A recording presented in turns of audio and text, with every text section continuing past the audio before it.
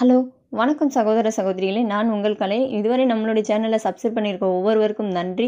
இப்போ நம்ம பார்க்க போகிற நிறுவனம் பார்த்தீங்கன்னா நெய்வேலி லிக்னட் கார்ப்பரேஷன் சுருக்கமாக என்எல்சின்னு சொல்கிறாங்க இது பத் மத் மத்திய அரசு கொடுக்குற வேலை. இதில் காலி பணியிடங்கள் பார்த்தீங்கன்னா முப்பத்தஞ்சு இருக்குது இது பார்த்திங்கன்னா வேலை செய்கிற போகிற இடம் பார்த்திங்கன்னா நெய்வேலி.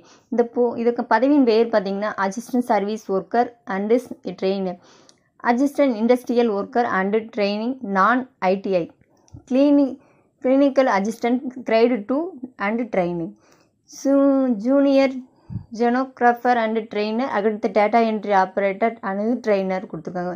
அஞ்சு விதமான போஸ்ட்டுக்கு ஆள் எடுத்திருக்காங்க எடுக்க போகிறாங்க இது பார்த்திங்கன்னா ஆன்லைன் மூலமாக தான் அப்ளை பண்ணுற மாதிரி இருக்கும். இது விண்ணப்பம் வெளிவந்த தேதி பார்த்திங்கன்னா இருபத்தி ரெண்டு ஒன்று ரெண்டாயிரத்தி இருபத்தி ரெண்டு விண்ணப்பிக்க கடைசி தேதி பார்த்திங்கன்னா இருபத்தி ஒன்று ரெண்டு ரெண்டாயிரத்தி இருபத்தி ரெண்டு இதுக்கான கல்வி தகுதி பார்த்திங்கன்னா அஞ்சு எட்டு அப்புறம் டிகிரி அப்புறம் பிஎஸ்சி கம்ப்யூட்டர் சயின்ஸு உங்க படிச்சிருக்க எல்லாருமே இதை வந்து இதுக்கு அப்ளை பண்ணலாம் சரிங்களா?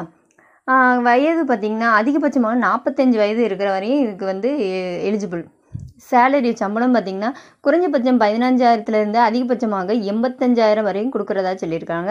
தேர்வு செய்யும் முறை பார்த்திங்கன்னா எழுத்து தேர்வு இருக்கும்.